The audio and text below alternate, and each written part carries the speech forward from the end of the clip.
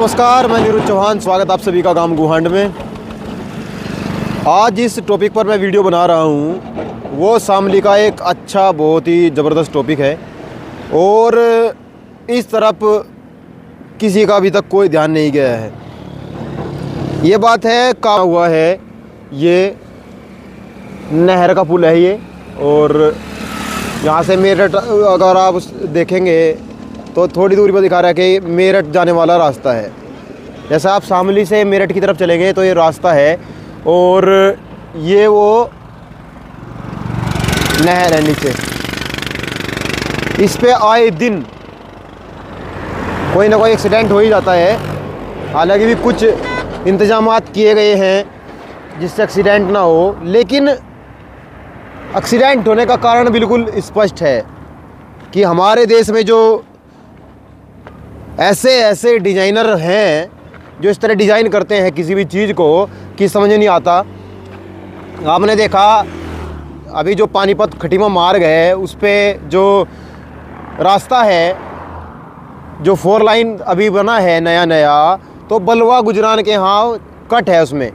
वहाँ ना गोल चक कर दिया गया, ना कोई पुल दिया गया, वहाँ लगातार एक्सीडेंट हुए, तीन चार दिन लगातार, उनने उस पर कवरेज किया। अब वो एक्सीडेंट धीरे धीरे कम इसलिए हो गए क्योंकि एक तरफ़ जंप बन गए, एक तरफ़ डिवाइडर रख दिए गए।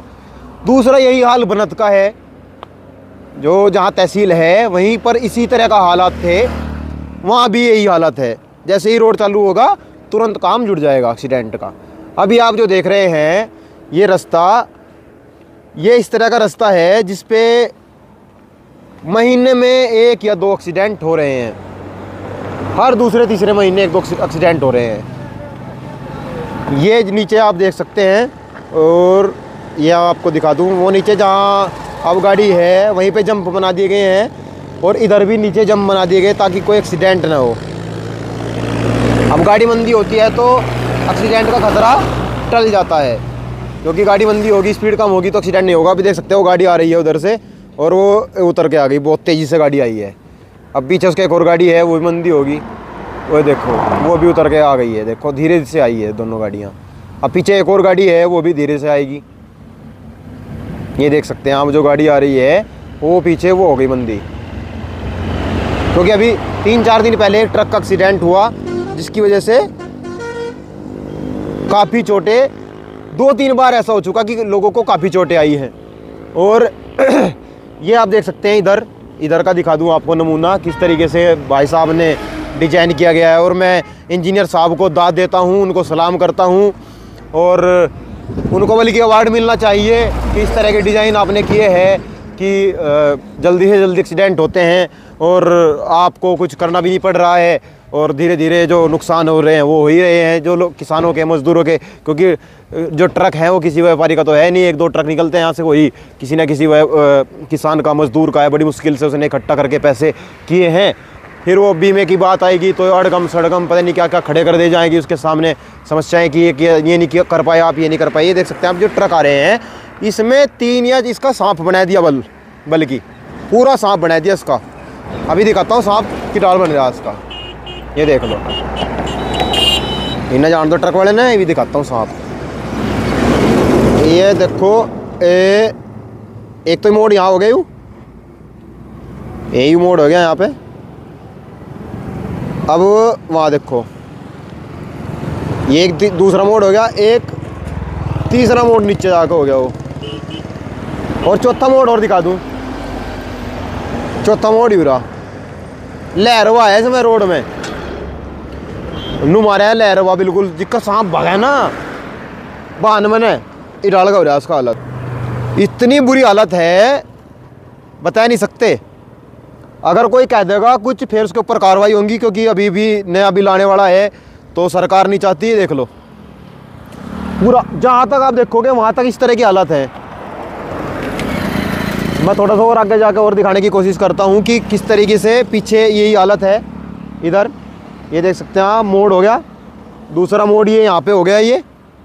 थोड़ा सा घूम है यहाँ पे भी, देख सकते हैं आप, एकदम। और फिर नीचे जाके है, ये मतलब पहला।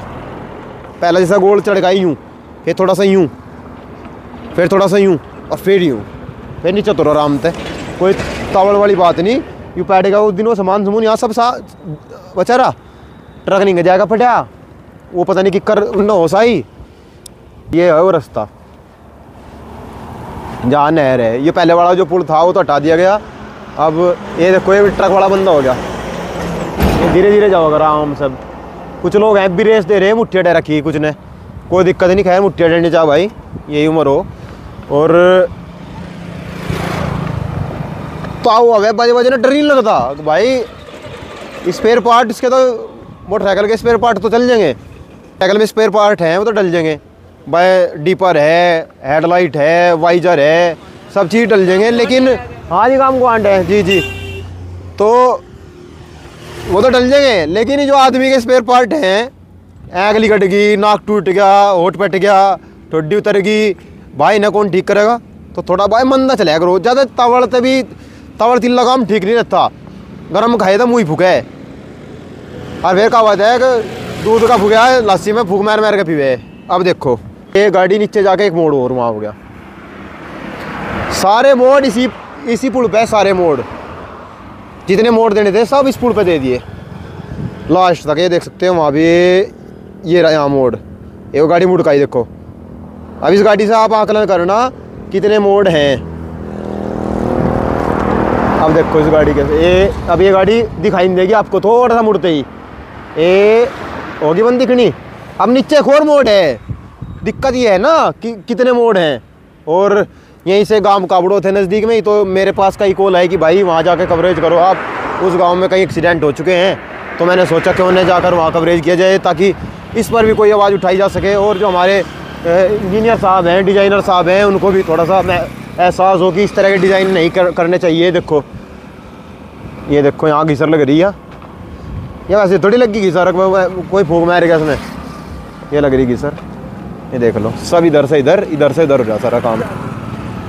इस तरह के हालत हैं। समझ सको आप क्या चले के काम हो रहे होंगे।